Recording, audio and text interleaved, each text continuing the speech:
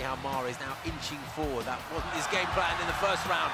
Yabo finds himself on his back. Mar jumps on top of him. What can he do from here? It, Another big elbow oh, heavy down. elbows, and it's all over. Olivier Coste seen quite enough of that.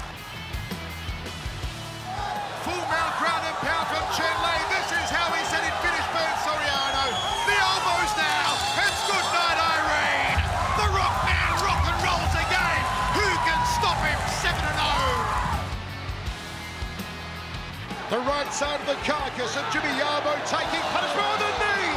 He folds him in half, and it's good night, Irene. Oh, there's Yabo. Oh! Jeremy Miado just shocked the world!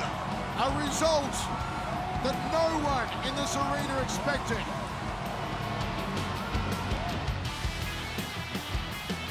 Song working the butterfly, nice sweep, right into mount. And busy with the right hand. And Oh, Salama's in trouble. Out. It's over. What an impressive start.